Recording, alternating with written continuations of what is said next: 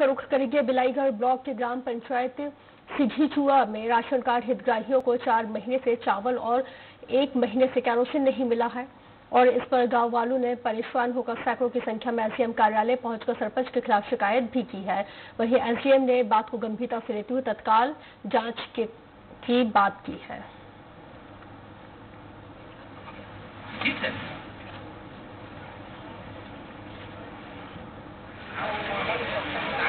चावल मिट्टी तेल शक्कर और मिट्टी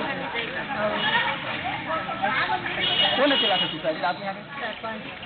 क्या बोलते बोलता तो अभी तक नहीं मिलता है दूसरा दूसरा का फिर पहले जो राशन सामग्री प्राप्त नहीं हुई है उसे पहले दिलाया जाए।